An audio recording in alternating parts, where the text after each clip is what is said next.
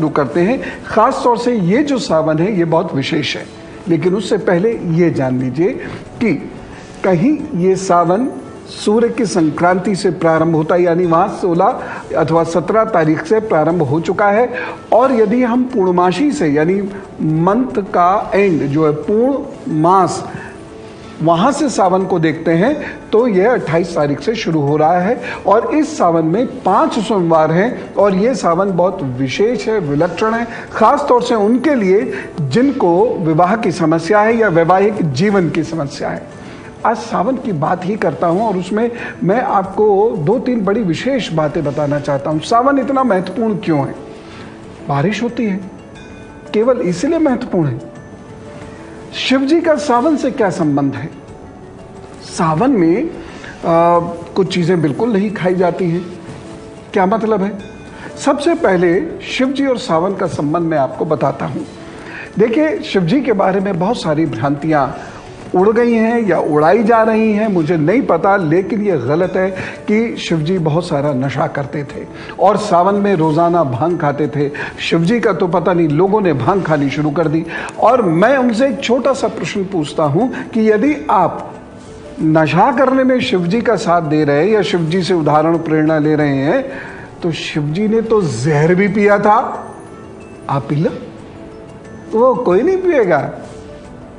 क्योंकि हम शिव जी का नाम लेकर केवल अपने नशे को जस्टिफाई करना चाहते हैं। सावन का महत्व अलग है। शिव जी ने बहुत विष पी लिया था।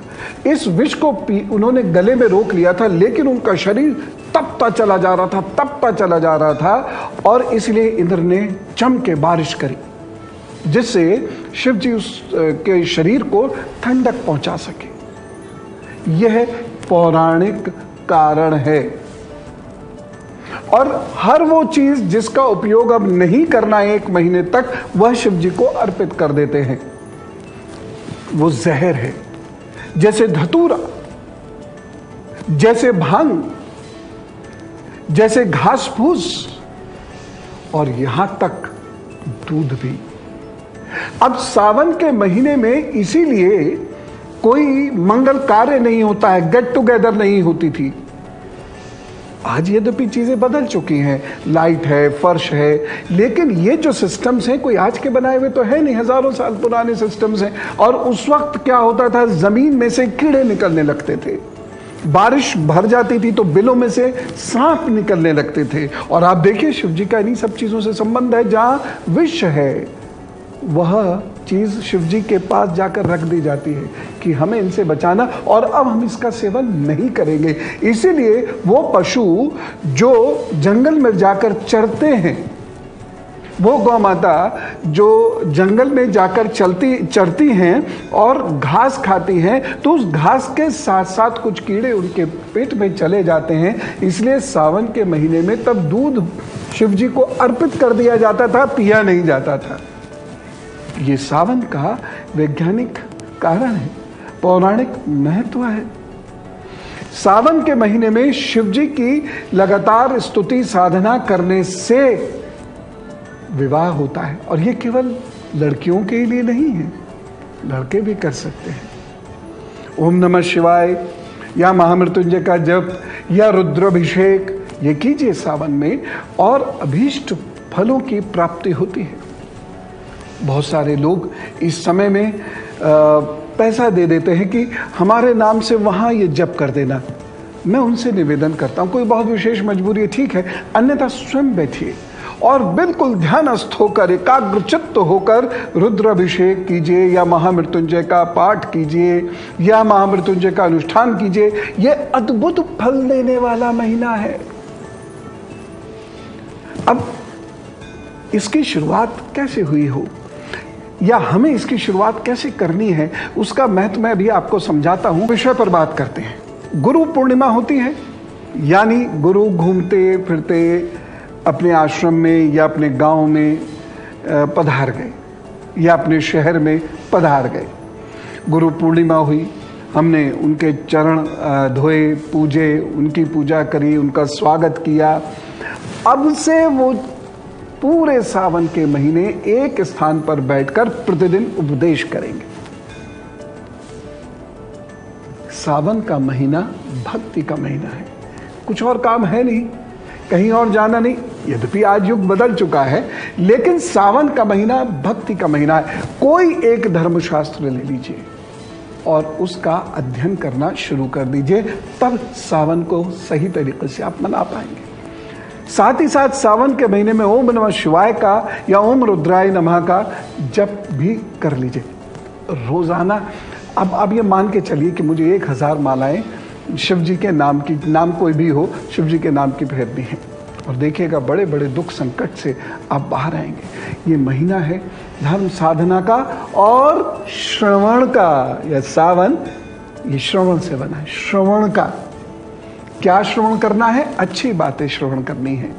गुरु जी से प्रवचन श्रवण करने हैं। धर्मशास्त्र श्रवण करने हैं और अपने जीवन को सकारात्मक गति देनी है। उसको नई ऊंचाइयों तक ले जाने के लिए शक्ति अर्जित करनी है। ये महीना इसलिए होता है। महीने में अपने बच्चों को पालक मत खिलाइए। अब पालक नहीं खाया जाएगा। और दूसरी चीज़ सावन के महीने में ये बहुत ध्यान रखना है कि रात में यदि बच्चे बाहर जा रहे हैं तो पूरी बाजू के कपड़े ज़रूर पहने, क्योंकि इसमें कीट पतंगे निकलते हैं और वह बच्चों को काट सकते हैं। सावन की एक और आपको खास बात बताता हूँ, बच्चियों के पॉइंट ऑफ़ व्यू से, जिनका विवाह नहीं हो रहा है। यदि वह प्रतिदिन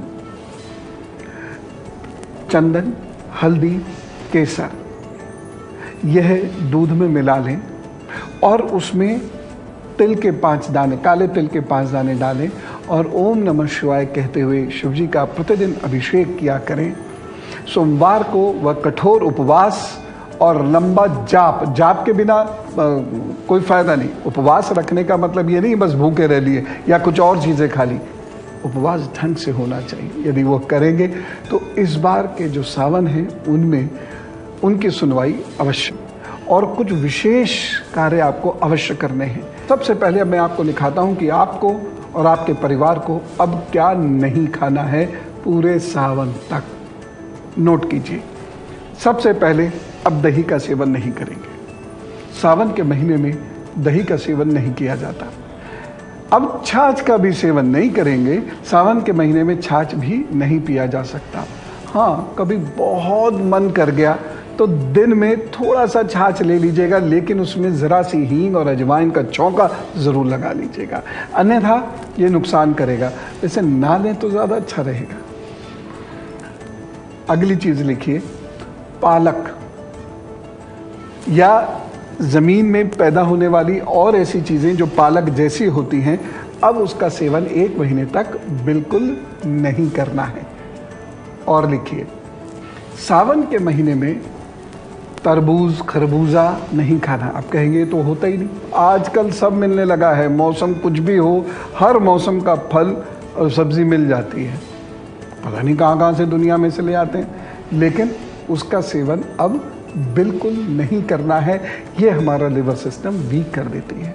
दही भी तो यही करता है। लिवर सिस्टम वीक करता है, इसलिए सावन में दही का सेवन नहीं करते हैं। तरबूज और खरबूजे का सेवन भी नहीं करते हैं। अब सावन में पूजा कैसे करनी है और किन किन चीज़ों का विशेष प्रयोग करके विशेष पूजाएँ करनी हैं, ये मैं आपको अभी बता रहा हूँ, लेकिन उससे पहले धनु, मकर, कुंभ और मीन राशि का बच्चों से, युवाओं से कहना चाहता हूँ। आपने देखा होगा कि जब भी भगवान शिव का अभिषेक करते हैं, शिवलिंग का अभिषेक करते हैं तो बेलपत्र चढ़ाते हैं, है ना? और कैसा? जिसमें तीन स्वस्थ पत्तियाँ हों, यानी कटी फटी पत्तियाँ ना हो। वो बेलपत्र उनको अर्पित किया जाता है। क्यों?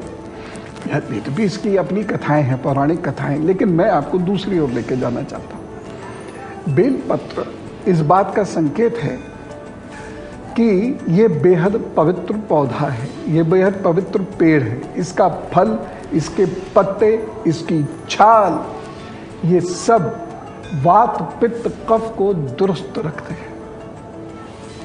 इसलिए बेलपत्र भगवान शिव को अर्पित किया जाता है कि आपके शरीर में वात, पित्त, कफ डिस्टर्ब हो गया होगा, गर्मी आपके शरीर में भर चुकी है, इसलिए आप इसका सेवन करें।